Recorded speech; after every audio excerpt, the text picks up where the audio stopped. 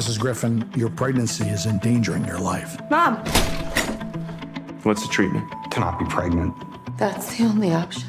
We could ask the board for permission to perform an emergency termination, Is there a chance that she can survive the pregnancy? maybe 50%. Resulting in the birth of a healthy child. I'm here. I'm I'm right here. I vote no, gentlemen. No. No. No. No. No. This is Jane. How does it work? Joy, Yes. get in. No, this is not a taxi. You sit up front with me. Oh.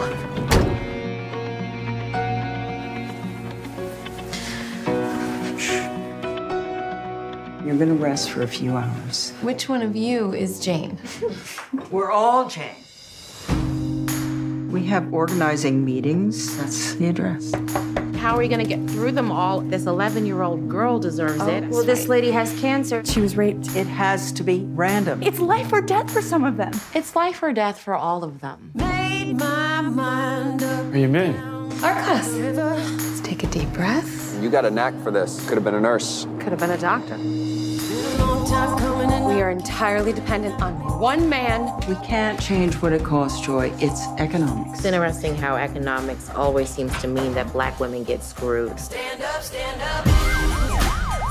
tell me how you ladies came to be, Jane. My wife's name is Joy, Detective. Yeah, you told me that. You want to end up in prison? I will answer any questions. I don't want to know. Have something that works. We are of use. Yeah, it's not perfect, but it works. I'm not scared of jail. I'm scared there won't be anyone left to answer the phone. I need help. I don't know what to do. This is my fourth message. I'm losing my grip. I can't tell my parents. You have to go back. Let's